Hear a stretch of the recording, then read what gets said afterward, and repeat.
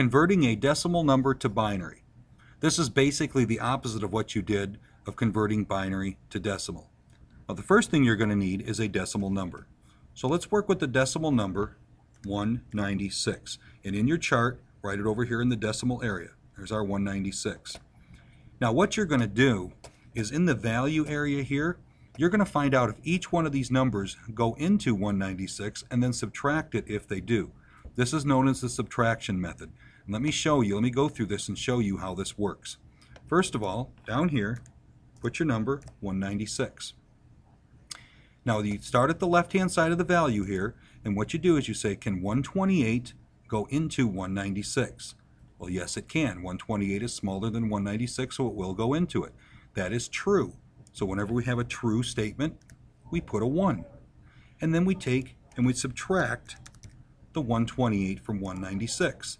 And that gives us 68. Now we go to the next number. Will 64 go into 68? Yes, it will. 64 is smaller than 68. That is true. So we go ahead and subtract 64 from 68, and we get 4.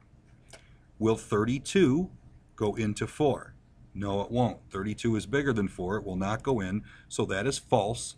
You put a 0. 0 represents false. And then you go to the next number. Will 16 go into 4? No, it will not. Again, that is false. Will 8 go into 4? No, it won't. Another false statement.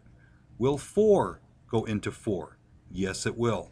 That is true. We put a 1 here, we subtract 4, and our answer comes out to 0.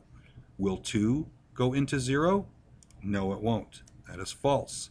Will 1 go into 0? No, it won't. That is false. We've just converted 196 to its binary equivalent.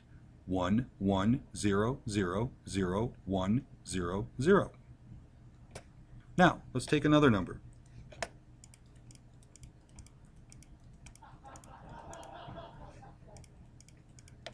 This time, let's take a smaller number. Let's do 67. We'll convert the decimal number 67 to a binary equivalent. Well, first of all, write your number down here, and then go to each value and see if it will go into that number. Will 128 go into 67? No, it won't. 128 is bigger than 67, so that is false. Will 64 go into 67? Yes, it will. 64 is smaller than 67. That's a true statement. And we have to subtract 64, which leaves us with 3. Will 32 go into 3? No, it will not. That is false. Will 16 go into 3? No, it won't. That is false. Will 8 go into 3? Nope. Again, that's false. Will 4 go into 3? No, that is false. Will 2 go into 3? Yes, it will. That's a true statement. Put a 1 there. Subtract 2 from that, which leaves us with 1. Will 1 go into 1? Yes, it will. That is true. Subtract 1, and your final is 0.